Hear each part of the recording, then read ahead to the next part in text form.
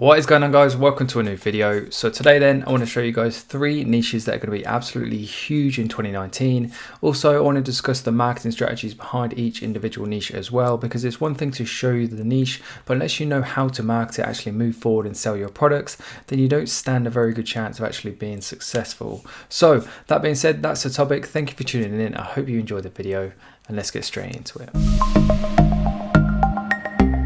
What is going on then guys, welcome to my computer. So let's jump straight into it then and number one is the cycling niche. Now don't leave the video, I'm going to prove to you then why the cycling niche is going to be so big this year and there's just so many reasons to go through. So number one, there's so many different lines of products. So you've got cycling glasses, you've got cycling clothing like bandanas, shorts, uh, t-shirts, tops, and then you've also got cycling lights. And there's just so many other different things you can get: cycling bags, different attachments for your bike. So number one is there's so many different options in terms of products. So when it comes to things like bundle offers, cross sales, upsells, then there's so many different opportunities that when you actually get somebody onto your store just to buy one cycling product, it's going to be so much easier to get them to buy, say, two or three. The second point as well is that when it comes to buying cycling gear, or at least I've found from my own personal experience, that things are really, really expensive. So just to kind of show, or just to kind of prove that point, if we just go on Halfords, so if you're from the UK, you'll know who Halfords are. I'm not sure, I'm pretty sure they don't have it in the US, but if you just look at this cycling light, so it's £50, which is quite a lot for a cycling light. And kind of like the key features, if we look at the key features, it's 1600 lumens, and it's rechargeable. And then here is a cycling light on AliExpress, over 250 like near enough five star votes it's 2000 lumens so it's more lumens it's a brighter torch and it's rechargeable as well. So they pretty much do exactly the same thing. Halfords are selling that for 50 pound and you can buy something that looks to me like a better product for only seven pounds. So in terms of markup then I just think there's a huge huge huge market especially in the UK for somebody to come in and start selling pretty much cycling gear, any sort of cycling products um, aimed at people who can't necessarily afford to pay these like really expensive prices. Kind of like a budget cycling store, if you like. And then the third reason is just the sheer size of the market. So just a couple of stats for you. Here is a report generated by .gov.uk. So this is just in the UK, and as you can see, the amount of trips since 2000 is since 2002 has increased only slightly, but that's a good sign that there's still as many, if not more. It shows that the market is consistent and it means that the market isn't just going to drop off. If anything, is getting more and more popular.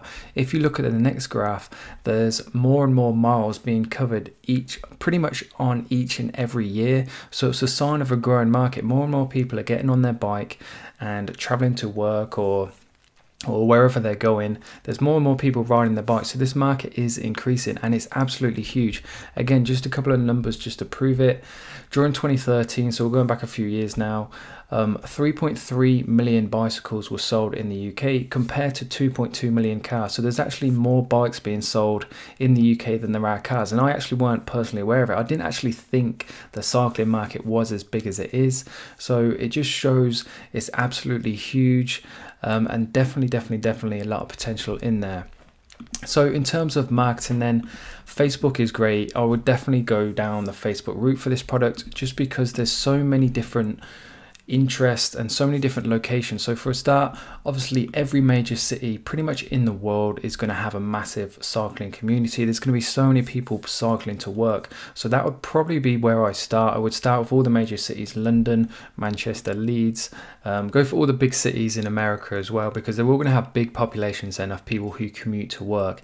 And what I think would work really, really well is a bundle offer. You can have different kind of bundle packages for the starter. So somebody, as you can see, more and more people are starting to spend time on a bike. So those people who are buying a new bike, you could offer different kind of starter package starter packages for them. So it could be pretty much everything all in one set let's say 200 quid. And 200 pound isn't a lot of money to spend in the cycling niche. As you can see some people spend 50 quid just on a light. So in terms of profitability and the actual size of the market as well um, definitely definitely definitely a lot of potential to be had. So that's number one then guys. I hope you enjoyed it. Hopefully you agree with the points that i've been making. Um, if you're enjoying the video so far please do make sure you hit that like and that being said they're moving on to number two and I like to give out different niches that you might not have seen before with different marketing strategies. So number one then was definitely one you could go down Facebook. And number two then, which you don't hear a lot of people talking about then is I would, in terms of this kind of product here, I would definitely go with YouTube influencers. Now I haven't, I've done zero video on YouTube influencers. So if you do want me to start doing more videos on that kind of topic, then make sure you let me know because you don't hear many people talking about it. It's definitely not as tapped or as popular as Instagram influencers. So it's definitely a good place to go um, for that type of marketing. So number two then is men's jewelry or men's accessories. Now the reason I think this is such a good niche then, um, quite a few reasons really. Number one is perceived value and that is in the fact that all of these products, if you just look at them, they're pretty cheap and you could easily sell some of these for 20 pounds. So that gives you a lot of room for your Facebook ad purchase cost or whatever it is. And plus in terms of branding, then the opportunity is huge. Just to show an example, is this website here, Northskull. You might have seen them before. Now, I'm not saying these guys are drop shipping or sourcing their products from AliExpress. I don't think they are. That I'm pretty sure they're custom made and they're probably better quality materials as well. But just look at the kind of prices they're charging for these bracelets and they look pretty much exactly the same. Like here's one here. If you just look at the design of the two skulls and then the way it fits together.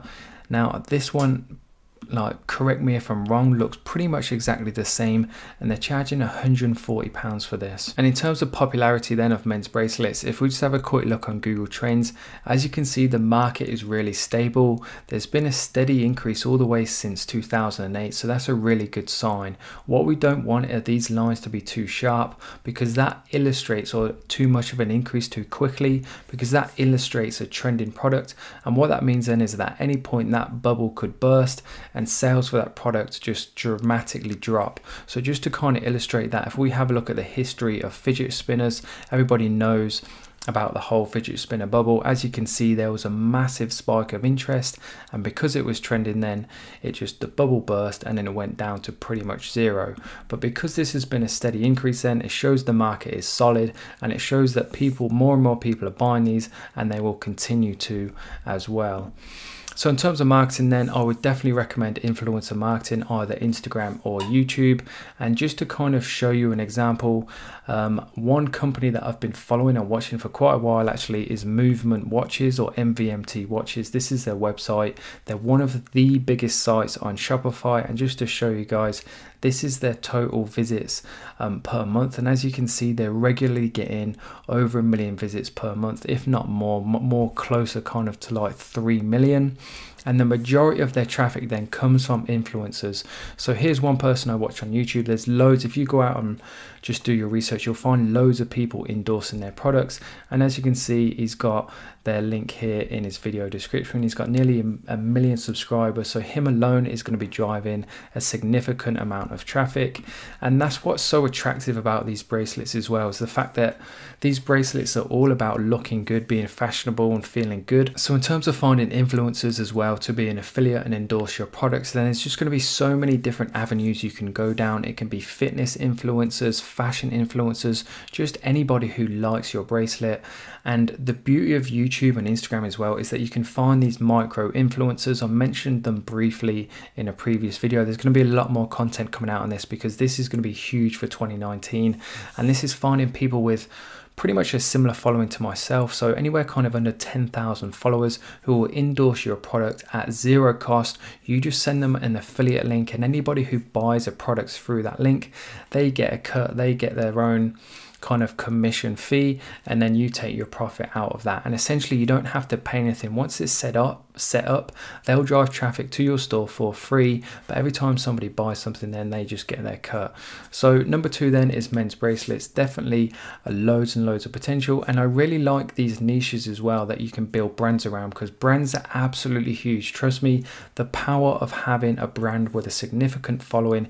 If you had a million followers across all of your social medias you wouldn't have to spend a single penny on advertising you'd have so many people at your disposal organically You'd only have to put a post out or create a story, a timeline, whatever it is to be able to bring that traffic in. So branding is absolutely huge and these products just fit that that persona and that kind of mold of building a brand. So number two then, men's bracelets. So moving on to number three then, the third and final one in the video and probably my favorite one as well actually. In fact, one I've been doing a lot of work on myself this year. I'm actually working with a designer on a few different designs, um, which is print on demand or more specifically then like funny t-shirts, funny designs, because these just lend themselves 100% to social media marketing. If you can come up with a funny design, design, so for example then this one, fries before guys, it's the kind of thing people will laugh at, it will be relatable to them, and they'll share it on Facebook. And if you get a product that goes viral, it goes back to that point that I made of building up a brand and getting that organic reach. If you can create a product that will go viral on Facebook, then people, just through people sharing it, you'll be able to generate hundreds and hundreds of sales if it goes viral. And that's traffic you won't have to pay for either. You only pay for the traffic when Facebook specifically puts it on someone's newsfeed or wherever you choose. If somebody shares it, you don't pay for that. That's organic reach and the average Facebook person has 300 friends. So that's potentially every time somebody shares it, potentially another 300 views that you're going to get for free. So designs like this that are funny and kind of lend themselves to being viral designs that people find funny, want to share with their friends, tag people in yoga and wine, then it just lends themselves to that to going viral and once it does then trust me you'll make a significant amount of money and you'll make it very very quickly as well so a couple of notes then, when it comes to designs, what you want to try and do is encompass as many interests as possible because Facebook works the best when you be as specific as possible with who you are advertising to. So this design here then, for example, yoga and wine, it's clear then who the target audience is. It's women who are into yoga and who are into wine. And because there's two interests in there, not just one, when somebody sees it then they're more likely to see it and it's more likely to resonate with them and they're more likely to just see it and be like, oh my God, 100% that is me. I love yoga and I love wine. And the chances are then that person who they go to yoga with probably likes drinking wine with them as well. So they've got to tag them. So that's more organic reach. The more specific you can be, then the better. So when you combine two interests, then it appeals to your audience in two different ways. It appeals to them in the yoga way and the wine way. And the more your design or product for, or in pretty much any product, whether it's a dog product, a physical product, the more it resonates with your audience, the more likely they are to buy it, and the more likely they are to to engage with it, share it, comment it, whatever it is. Same for this one as well. May the gains be with you. It's clear who the target audience is. So when somebody who is into Star Wars and into going to the gym, keeping fit, when they see this, it's going to really resonate with them because there's two clear interests that match their interests as well. So that being said, then hopefully you're kind of getting the gist of what I'm going on about here. Any questions at all, then of course, feel free to leave a comment down below. I always do get back to every single person's question. So in terms of finding designs, then there's a few websites I want to show you, or three in fact, um, and it's pretty simple to do. So this one, teespring.com, it really is as simple as just coming on it, searching for funny, and just scrolling through, seeing what which ones catch your eye. Because if they catch your eye, the chances are they'll be catching other people's eyes as well when you start marketing them on Facebook. But you can literally, oh, I've disappeared view float on top but you can literally then just search in here any sort of niche and it's going to give you pretty cool t-shirts then in your niche. So I've just put dog in. As you can see, you've got dog and wine. Dog hair is the new black. You've got, I believe that looks like some sort of pug, crazy dog lady. So all of these are pretty, like there's a lot of potential in all of these and potential viral designs. You can also go into AliExpress as well, just search for dog t-shirt or that's all I did to find this one here. And as you can see, there's two really specific interests here. So that's a pug obviously, and it's a play on the film Dawn of the Planet of the Apes, but it says Dawn of the Planet of the Pugs.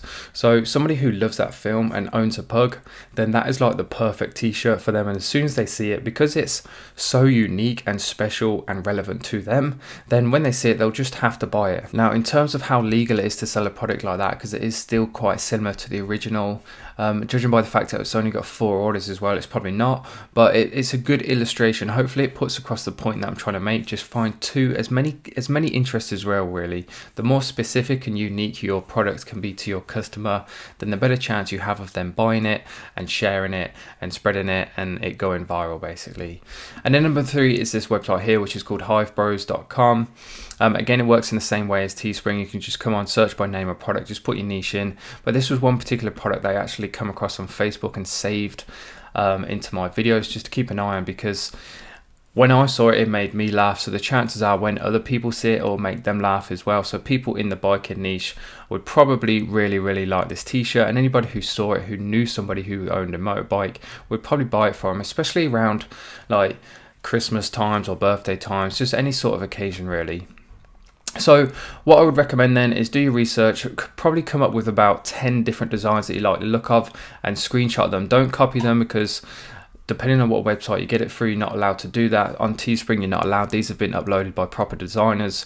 So what you do then is you simply find ones you like, screenshot them, head over to fiverr.com, search for t-shirt designer, and as you can see, the prices are pretty cheap. So you can get designs so if you just send them literally the screenshot of these designs and say, can you create something similar, not the same, just similar in its own style, in your own style, then you can get some pretty cheap designs. So £8, £4, £4. And as you can see, they're pretty trustworthy as well. So this guy here has got five star reviews with over 1,000 reviews in total as well. So most of them will turn things around pretty quickly as well, so you can soon come up with your own print on demand business on Shopify within a week with about half a dozen, if not a dozen designs, depending on how many you want to put on there, and just get started on Facebook as soon as possible. And that being said then guys, I'm going to wrap the video up there. If you're still watching, thank you very much. I hope you enjoyed the video. If you did, please do leave a like. Let me know down below in the comment section what you think to these three niches. Do you think they're good? Do you think they're bad? Uh, let me know if you're going to be taking action in any of these ones as well. It'd be interesting to see. Um, me personally, I am going into print on demand. So let me know if you want more content on this sort of thing. Maybe I could turn it into some sort of series where I talk about what I'm doing and just show you the progress. Um, but I'll leave it up to you guys then. Let me know what you think. And that being said then, thank you for tuning in. Hope you enjoyed the video and I'll see you all in the next one.